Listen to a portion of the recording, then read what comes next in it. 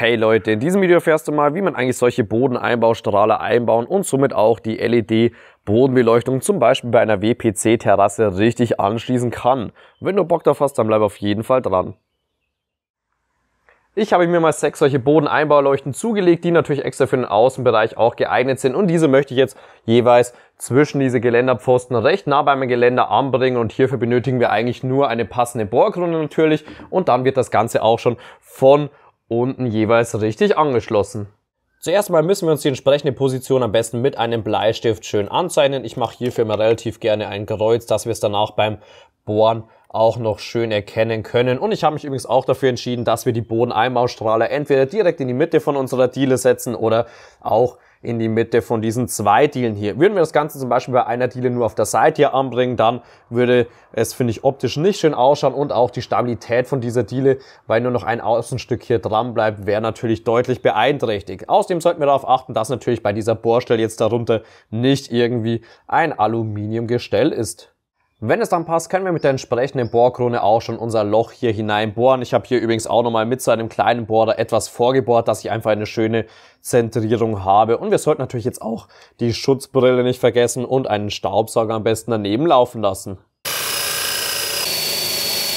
Die Bohrung schaut super aus, weswegen ich das Ganze auch schon von oben hier mal hineingeben kann und es passt wirklich auf den Millimeter genau.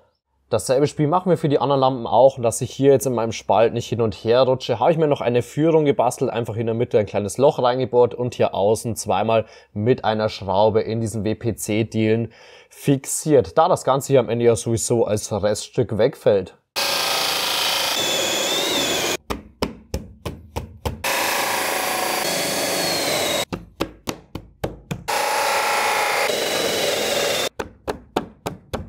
Die Lampen habe ich auch schon richtig eingebaut und jetzt müssen wir diese natürlich auch noch von unten richtig miteinander verdrahten. Hierfür habe ich unter jeder Einbauleuchte mal eine kleine Verteilerdose gesetzt. Dasselbe Spiel natürlich bei den anderen Einbauleuchten genauso gemacht und dazwischen eine NIM 3x1,5 Quadratmillimeter Leitung gelegt. Danach ca. 15 cm noch in die Verteilerdose überstehen lassen und anschließend kann ich nämlich auch diesen Lampendraht von unten in meine Verteilerdose hineingeben, dass von oben auf gar keinen Fall irgendwie eine Öffnung ist, wo anschließend im schlimmsten Fall sogar Wasser reinkommen könnte.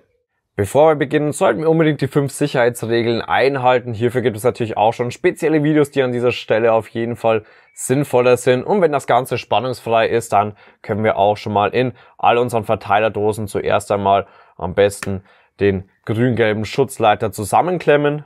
Hierfür bei normalen Vago-Klemmen das Ganze mal noch auf 11 mm abisolieren und mit den richtigen Klemmen verbinden.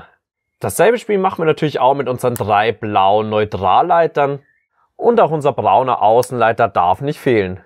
Zum Schluss unsere Abdeckung noch von vorne aufsetzen und wir können auch schon bei unseren anderen Verteilerdosen genau dasselbe Spiel machen.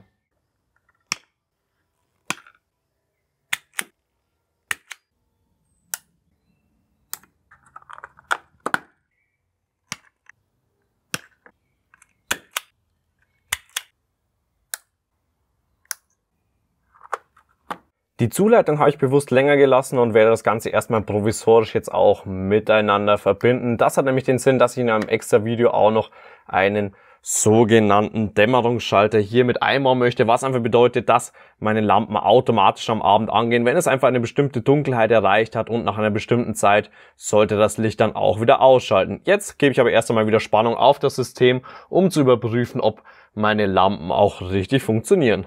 Ich würde sagen, das Ergebnis kann sich auf jeden Fall sehen lassen.